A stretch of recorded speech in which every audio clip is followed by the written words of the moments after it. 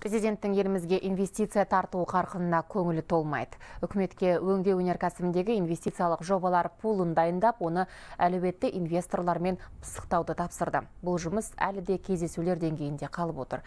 Нақты нәтиже жоқ деді Қасым Жомарт Тоқаев. Елімізде жер қойнауын игеруге инвестиция тарту керек алайда үкімет минералдық ресурстардың цифрлық деректер базасын құруға құлықсыз жеке министрлік құрылды. Қаражат бөлінді, бірақ бұл маңызды жұмыс аяқсыз қалды деді президент. Проекты, прежде всего, реализуется в регионах, на местах. Жобалар алдымен аймақтарда іске асып жатыр. Сондықтан инвестиция тартумен оны жүзеге асыру нәтижесі әкімдерден де сұралады. Бізде арнайы ынталандыру жоспары бар.